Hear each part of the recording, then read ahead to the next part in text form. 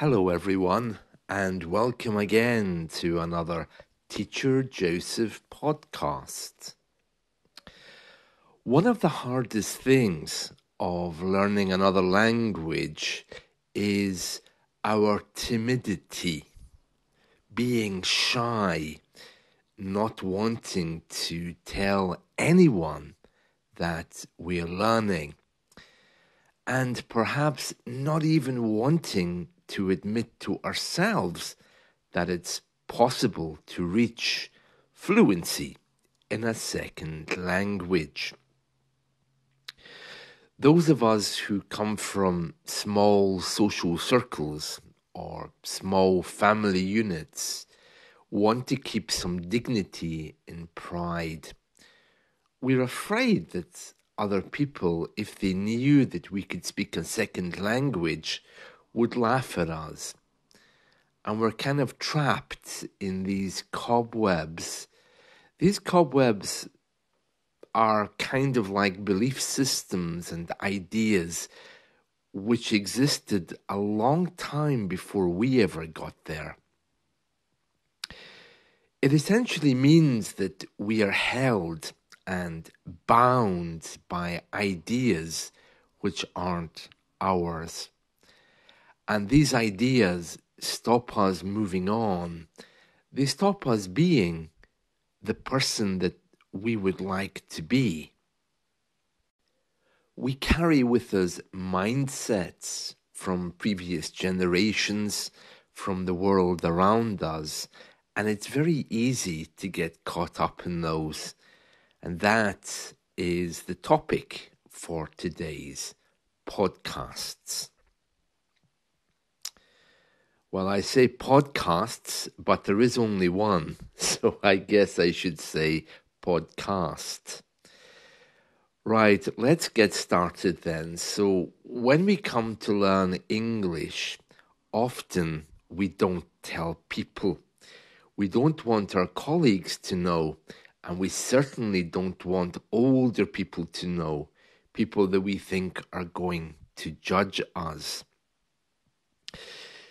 This isn't the case only with English, this is the case with everything. I remember when I was a little boy, I loved music and I wanted a piano. But my parents, in their wisdom, decided that, well, you couldn't make money with a piano. So what a waste. Why get the kid a piano if uh, if you can't make money from it, isn't that only something which rich people should do?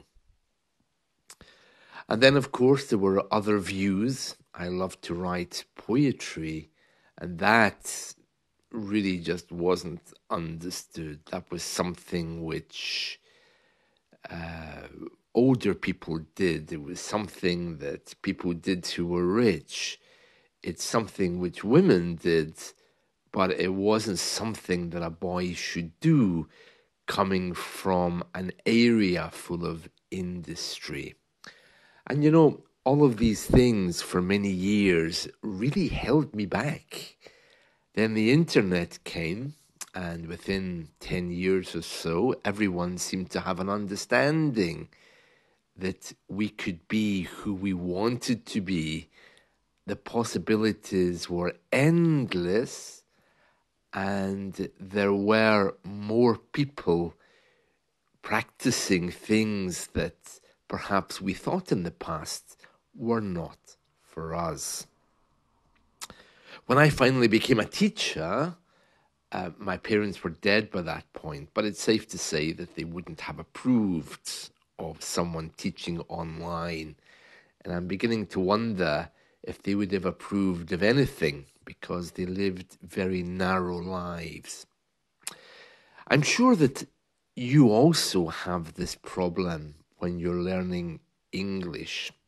Unless you come from a family of language learners or a family of linguists who celebrate English with you, who celebrates your achievements, who celebrates your joy at learning new words.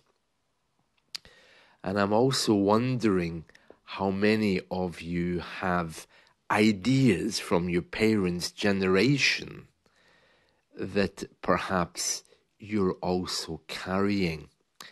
That voice inside which says, You can't, you can't, you never will, so just give it up.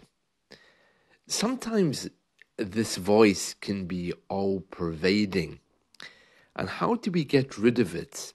How do we stop looking over our shoulder to become the people that we are supposed to be? It's very difficult, especially if you're faced with limiting ideas every day. Some of us may be in poor health, for example, and we don't really have a very open view that perhaps one day we might recover despite what the medical profession tell us. Other people see a list of vocabulary and grammar and there's a voice inside that says, this isn't for me, this isn't where I came from, this isn't who I am. So why am I pushing myself with these books? And yet, through all of this, there seems to be some people who actually made it.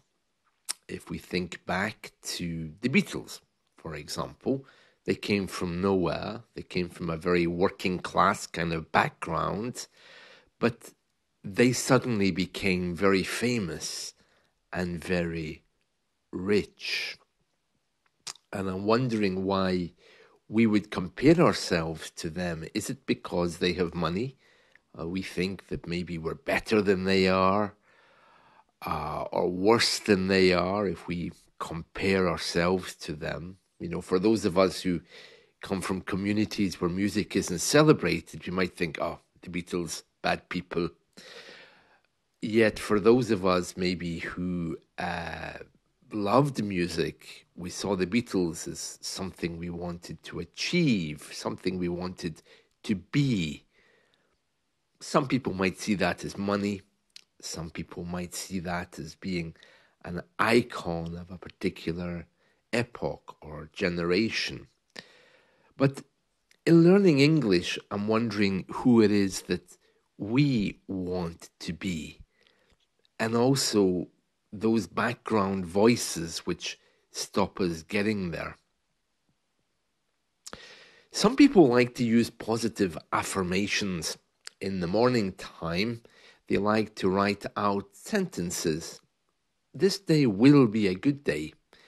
This day I will do something different. But doesn't this just drive up egotism at its best? For me personally, I'm finding as I get older, silence is really very important.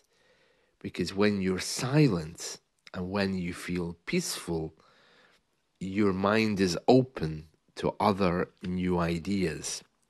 Whereas if you fill your mind with things, the deepest parts of you, the parts that want to be expressed, can't be it's a bit like flowers growing in a garden of weeds. These are just a few thoughts for when it comes to language learning. Firstly, about our own families and where they fit into the picture because they are there. And whether you think you've managed to perhaps get a career better than theirs they're still hovering in the background. Their thoughts and limiting beliefs are very much with you, whether you like it or not. On top of that, there's also peer pressure from your friends and how much are they holding you back? Not with their words, but as I mentioned earlier, even before you were born, you were weaved into this idea of opinions. And how do we break free from those to really become who we want to become? And lastly, how do we push our English forward beyond these limiting expectations? Is it by brute force in order to make money? Or is it somehow just slowly letting go and moving into some kind of new consciousness and new beliefs? Well, that's just some food for thought for today. I hope you've enjoyed this. Let's talk soon. See you. Bye.